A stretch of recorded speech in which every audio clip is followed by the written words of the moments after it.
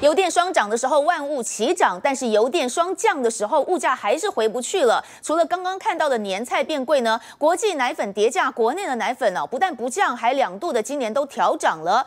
行政院邀集了进口奶粉业者喝咖啡，还撂下了重话，说你不要以为政府很好骗哦。结果呢，奶粉业者一不甩你政府，二不甩你民情。现在行政院寄出食安法，要求业者开电子发票，也要求上下游进货成本要公开。那么当中的利润到底有没有事？适时的回馈在价格上呢，爸爸妈妈到全民都在监督，只是也不知道这个监督到底会不会有用。种妈妈喂奶，但是对孩子成长重要的奶粉，奶粉业者一天不降价，每个小家庭养孩子的负担就没办法减轻。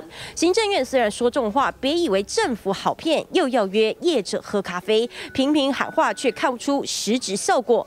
因为卫福部鼓励母奶，一度禁止以开罐价促销婴儿奶粉，推波助澜，让奶粉业者价格坚持不松动。促销的规定，虽然我们在食安法本身就有规定，不过我们。会考量到这个社会大众的需求，有一个呃物价小组的会议，那我们也是其中的成员之一，我们会做呃价格的调查，促使国内奶粉价格合理反映利润。政府寄出食安法，要求业者全面使用电子发票，并且将奶粉的供应链交易价格上网公开，进货资料去比对，厘清进货成本几乎已经对砍一半了。国内的药局卖场却照样每卖一罐净赚四成价格。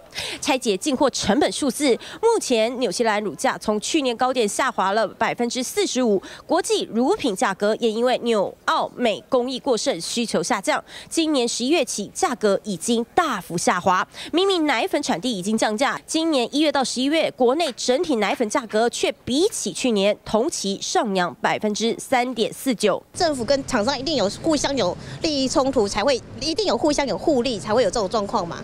否则怎么可能？政府如果真的是施压下去，不可能没有这种问题发生呢？就会下去广告怎样等等。那我为什么我今天品牌做做起来，就是说啊，你要要求我降价，我当然是不太愿意啊。政府要找奶粉业者拎嘎逼，但效果如何，正月没把握，就怕喝的又是大和解咖啡，涨价是成本，降价看诚意，苦的是小老百姓。记者台北综合报道。